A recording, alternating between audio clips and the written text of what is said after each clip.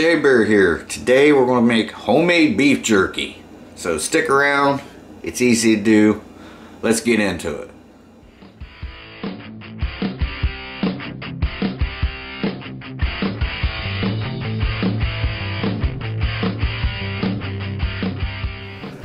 Okay guys, so we're going to start off with our marinade. We're going to marinate these, uh, our meat for a couple hours. So We'll start off with, we'll use some of this marinade here. This is teriyaki. Uh, some people use soy sauce. My store actually didn't have any soy sauce, so I got this. Uh, Teriyaki's a pretty popular flavor for um, beef jerky, so we're going to do three quarters cups of uh, three quarters cups of that and we're going to use this Worcestershire sauce almost nailed it so we're going to use three equal amounts. I mean you can use a half a cup but they're going to be about equal amounts. And they don't have to be perfect. I'm just uh, giving you an idea here. We'll put that in there. Okay so now we're going to add some of the some of our seasoning. Uh, I got some of the steak seasoning here. And I forgot to open it first. Uh, you can you can put whatever seasoning you want in here. Uh, like I said, this recipe doesn't call for uh, steak seasoning, but I'm going to put a little bit in there. Uh, maybe a tablespoon. I do have a recipe over here I'm looking at. I haven't made this in years. Okay. So we're going to, let me see here. Alright, now we're going to add a tablespoon of this paprika, um, smoked paprika. It gives it a gives it a subtle smoke flavor, but we're also going to add liquid smoke, so just kind of give this a helping tablespoon here or a helping a heaping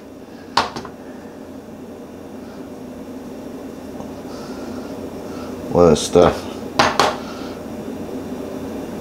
I don't know why they don't have a flip out thing like some of the other ones do so that should be about a, a, a heaping because you know some went inside there so, all right so we'll use that now we're going to move on to our liquid smoke. Uh, they have different flavors of this. This is what I used. It was like $3. Um, this one is mesquite. Okay. Uh, they have apple. They've got, I believe, cherry. Um, they had four flavors at, at my store. Now this stuff, guys, will not take a lot. So be careful when you use this.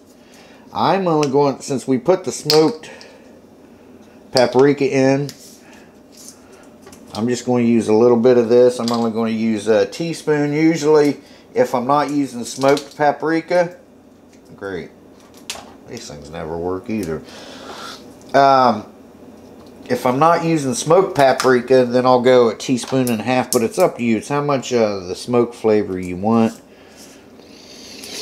But this stuff is pretty potent. So be careful. So we got our little teaspoon here. Like I said, I'm just going to put one teaspoon. Well, let's just go about a teaspoon and a quarter, maybe an eighth, okay? All right, now we've got our garlic powder. We're to do, I think it's a tablespoon. I keep looking over here, guys. Sorry. Of the, uh, and you want powder. Okay, it's it's a teaspoon. So, but you can add more if you want. Um, the recipe, this recipe particularly, calls for uh, onion powder.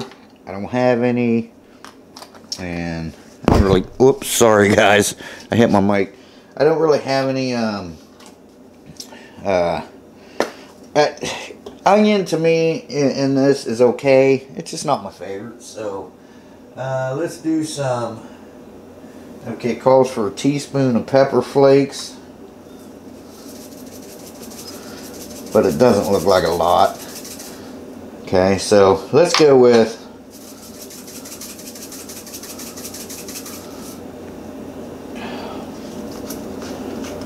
This is just McCormick. Whatever you can afford. Let's go with about that much, okay? You don't want a whole lot. I mean, you can if you want, if you like it. And then, you know, our crushed black pepper. I'm going to put about a teaspoon of this in. Uh, some people will put honey in it, which is totally fine. That should be about right.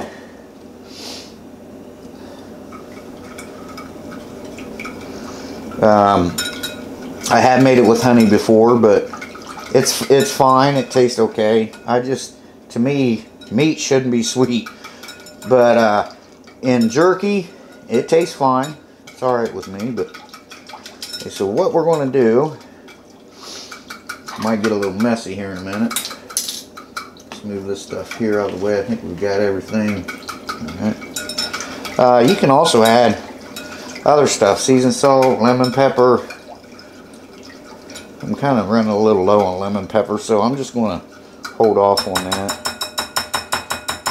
Alright, and we're going to set this aside for now. Now we're going to get our meat, and I'll show you how we're going to cut that up. Alright? Um, like this recipe will do two pounds. I think I only got a pound.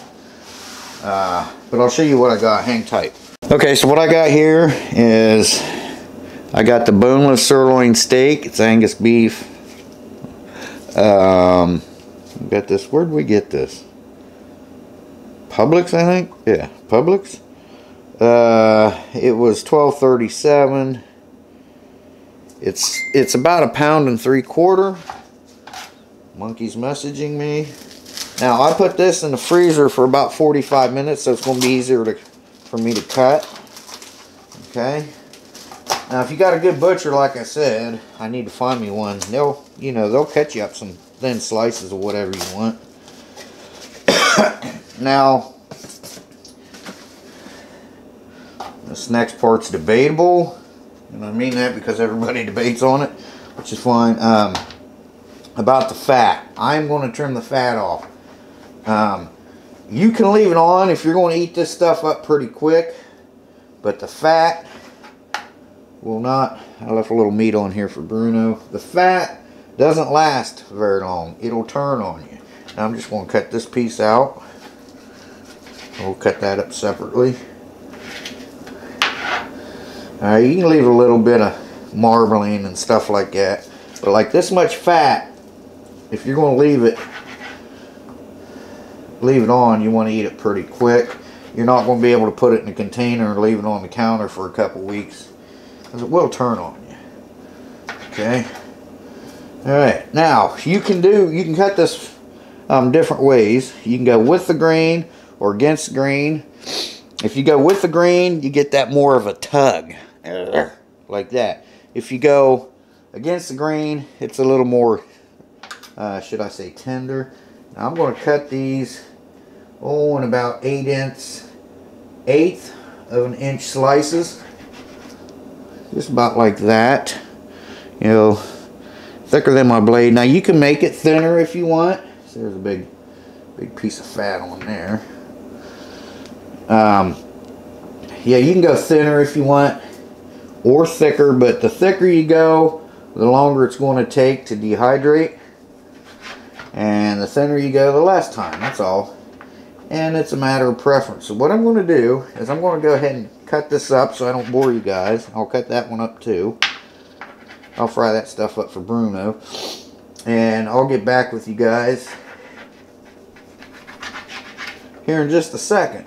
Okay, so this should make some nice, nice slices here. Okay, I'll be back with you guys. Okay, now we're going to marinate these. A lot of guys will tell you dip them in one by one. I've never had to do that, never had any issues. Because I'm going to put these in a baggie. You can leave them in here. Mix them up and leave them in here if you want. Just put something over top of this. It's fine. but I'm going to put mine in a baggie. Hopefully I don't spill it all over the countertop.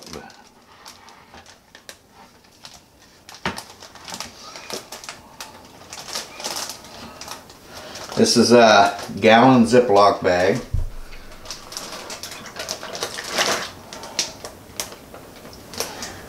Now, another debate. How long do you leave this?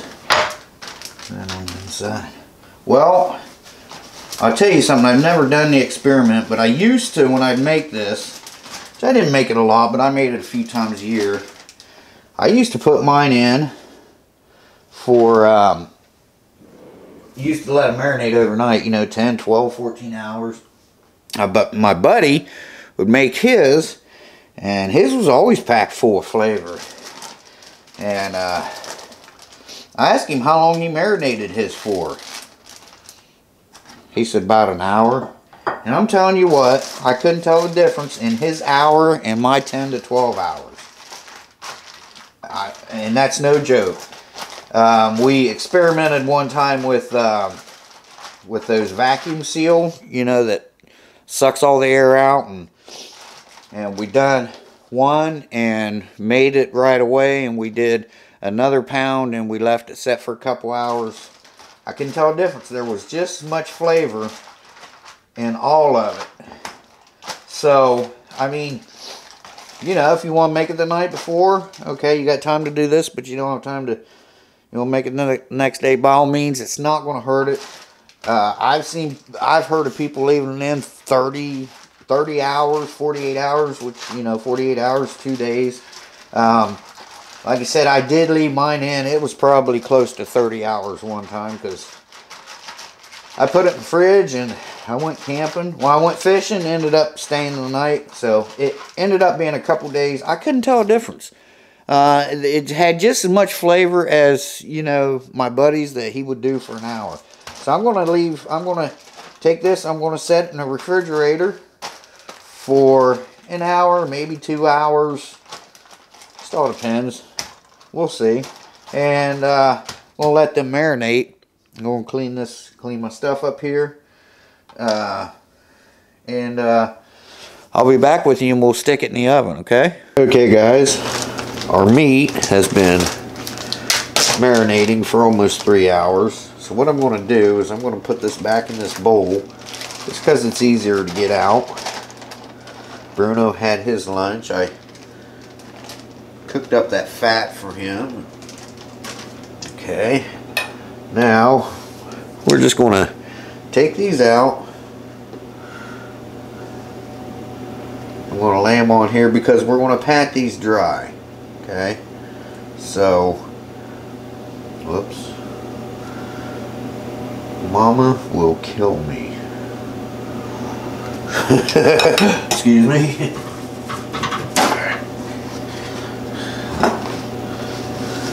Okay, so now, alright, make are on here. There's a couple long ones.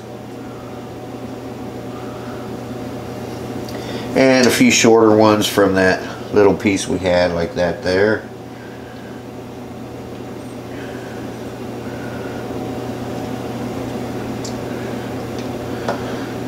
And I'm just going to keep laying these out here so we can get them patted dry. I'll just speed you up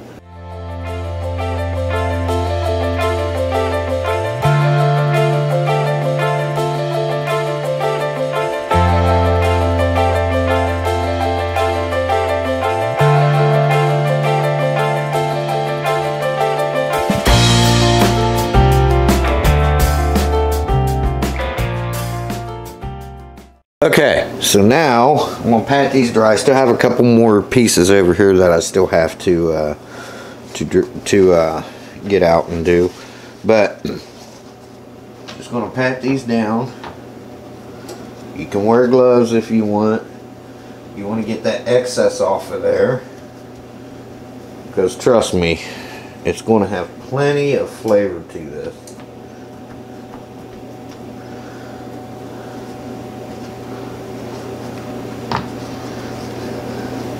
Let me get another piece here.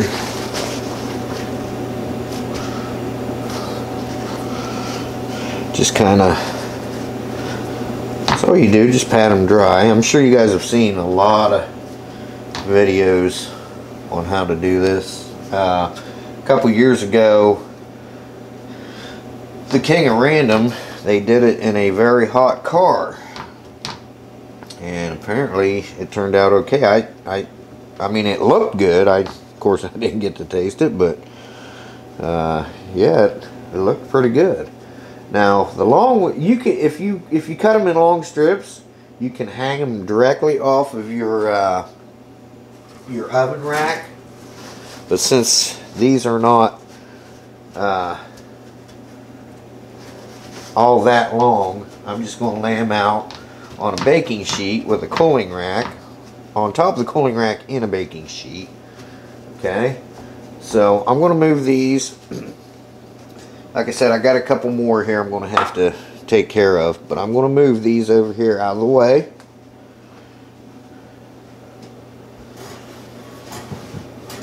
And I've got my baking sheet and cooling rack here. Now, uh, I got that for in case I don't have enough room on here, which it doesn't look like I'm going to have. Now these, I can just, you can just use your fingers if you want. I'm just going to lay on here, just like this. So that way it gets some air up in there. I have my oven preheated to 170 degrees. Now I, I usually like to make them at about uh, at about uh, 160, but my oven only goes down to 170, so what we're going to do is we're going to put these in the oven at about 100, at, at exactly 170 degrees. We're going to check them in three hours. But let me go ahead and get these laid out and I'll show you uh, what they look like. Okay guys, so now we're going to put these in the, in the oven. That's what they look like. Um, the sides can touch because they'll shrink up pull away from each other, but you don't want them on, excuse me, on top of each other. You don't want them overlapping like you don't want it like that. Just going to kind of want it like that. I know that's what everybody says, but it is important. Uh, okay, got a little piece over here. Let's put this in Now, this is what I got left over over here. That many. Got a couple small tiny pieces that broke off. I'm just going to set them here. Um, I've seen some guys on YouTube they actually put it on parchment paper. I've never tried that. I'm sure it would work, but we got the uh, temperature up here at 170 degrees, and we'll set it for three hours, which would be what 180 minutes. So, and we're going to check it if it needs the fourth hour, another 20 minutes, another 30 minutes, whatever. We'll do it then. But so let's go with 180 minutes. Start. Uh, that ain't right. That's coming up with two hours and 20 minutes. Oops. I shut the whole thing off. Alright. Uh, drop down 55 degrees because you lose 15 to 20 degrees every time you open an oven door. Um, okay. So, I want to set this, let's see. 120 is two hours. Yeah, I'm counting. So it'd be 180 minutes. Go to 180. That's an hour 80. That's two hours and 20 minutes. Let's go. It, it's, it might not let me do it Let's go with 200. That's two hours. Let's go with, alright, let's go this way. You can set it by the hour. Okay, there we go. Alright, there's three hours. I could have sworn I tried to set that one time for two hours and it didn't, uh, wouldn't let me, but, okay. I'm going to see you guys in a couple hours. Well, for you guys it'll be a second, but we're going to check it in three hours and we'll see how it's doing. Um, this leftover sauce here, if you have leftover like this, you can put this in a baggie and freeze it and thaw it out for next time. Which I'm not going to do because I don't have that much left over. So, but yeah, you can do that if you want. Now, I'm going to clean up some stuff over here. Wash my cutting boards down. I'll see in a few hours. Okay guys, it's been three hours. Oh, see.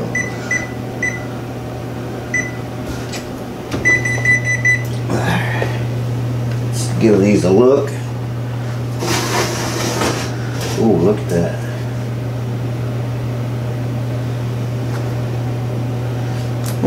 They look pretty good. I think they need to be a little bit more though. Let's check the ones on the bottom.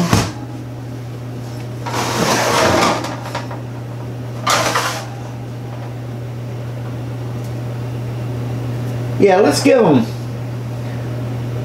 I'm gonna try one. Oh my god. Okay. Couldn't help it. Let's give them another 30 minutes to an hour.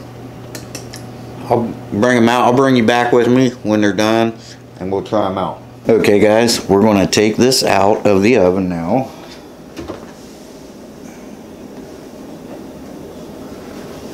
It's been about four hours and 10 minutes. There's those ones. Set these up here. And there's them ones.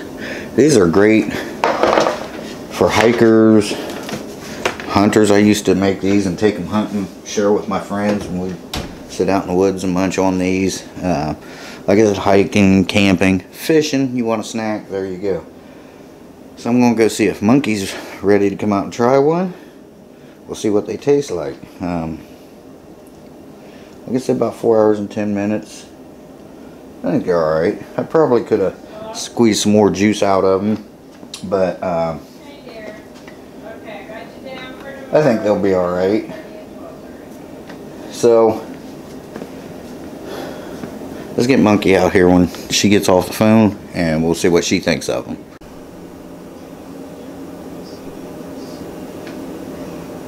That means you can go. Doesn't mean that. I didn't know.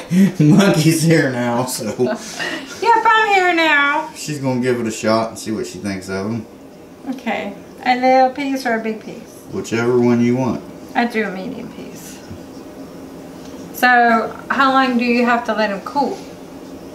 Or it doesn't matter? They're, I mean, they're only, they're just dehydrated at 170 anyway, so they cool pretty quick. Oh, they're good. Yeah? Yeah. Are they as good as Jack Link's or whatever? Hmm. Yeah. Yeah. Are they? For real? Yeah. Got a nice tender chewy thing to them. Yeah. Yeah, they're good. They're not real. Well, I cut against the grain, too. That makes a difference. If you cut with it, that's where you get that, where you gotta yank it. Yeah. Yeah. But, uh, so I cut against the grain, so it's a little bit more tender. Yeah, juicy. Yeah. Hmm. I like it. Yep. Very good. All right. Well, I'll let you get back to your your work, and Hmm. I'll do my outro. So she's waiting on a phone call from a patient. So Yep. all right, there you go. Thanks, Monk. You're welcome. Bye. Okay, guys. So there you go. Uh, Monkey just tried it. She liked it. I'm gonna try one. Mmm. Very flavorful. Well, like I said earlier, as far as marinating goes, you can marinate it as long as you want, but a piece of red pepper. But I've tasted it when it was only marinated for an hour. I've tasted it when it was marinated for a couple days. Um, I can't tell a difference in the flavor. Now, my buddy, whenever the subject would come up, a lot of people would ask him how he makes it and how long they should marinate it. and everybody says, "Oh, you got to marinate it overnight. It's got to be at least 12 hours." And but he said, "Well, when you're talking about a piece of meat this thin, maybe a pork chop, yeah, maybe a chicken breast, sure, because it's so thick it'll take longer." But he said, when you're talking about a piece of meat this thin, he said, think about it. He said, take a t-shirt, dunk it in water for 10 seconds, pull it out and weigh it. Then take another t-shirt, same exact size, dunk it in water for 10 minutes, pull it out and weigh it. They're going to weigh about the same. He said, because you can only get something saturated so much. Which is true. You can only get a t-shirt so wet. Well, this, you can only get it saturated so long. So you know, leaving it in there is not going to, you know, once it's penetrated clear through, it, it's penetrated. And he said he finds within an hour, it's usually penetrated enough. And like I said, I, have tasted both ways, um, several, several hours, and his that was just an hour. And like I said, I couldn't tell a difference. Um, you know, I mean, as far as you know, that goes as far as,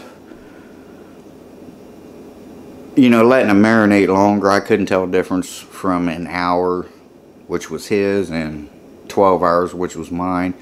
Because we used the same recipe, pretty much what you saw, saw me do here today. Um, so they pretty much tasted about the same other than the seasoning aspect. You know, we didn't measure out. We just, you know, his and my might be a little different but as far as um, you know flavor for it, it, was clear through. It was clear through. So anyway guys there you go. Easy. I won't say quick um, but it is easy. It's kind of quick to you know and if you can get your butcher excuse me to slice these up for you real thin that's even quicker. But I mean once once you slice them up throw them in the fridge let them marinate for an hour to however long you want. Uh, and then, like I said, this was 170 and it was about 4 hours and 10 minutes. Just make sure you damp them off real good before you put them in there. I probably could have damped mine a little bit more, but these will be gone by tomorrow probably. So, sorry guys. Anyway, I'm Chef Shabear. As you guys know, I'm not really a chef, but I like cooking. I really enjoy cooking in the new kitchen. So, that being said, hope everyone has a great weekend coming up. And we'll see y'all in the next one. So, stay tuned. I've been challenged to a friendly competition. It's going to be a lot of fun. This guy's really cool. So, when we get some more details about that worked out, I'll let you guys know and I'll give you a link to his channel so you can go check him out, watch his videos. So, anyway, I'll see you guys soon. Bye-bye and take care, guys. Thanks for watching.